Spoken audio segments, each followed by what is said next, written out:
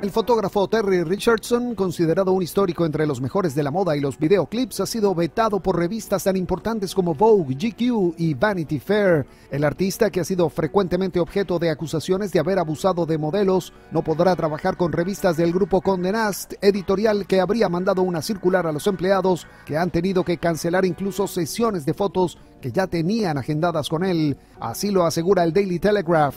El periódico británico se ha hecho eco de la comunicación que habría sido enviada por el vicepresidente después de que el domingo leyera un artículo sobre los escándalos de Richardson. Según el rotativo, la carta expresa, condenas, Ast quiere no volver a trabajar con el fotógrafo Terry Richardson y pide que cualquier colaboración con él sea cancelada o sustituida con otro material. El efecto Weinstein se sigue extendiendo incluso para recuperar fantasmas que nunca se habían ido.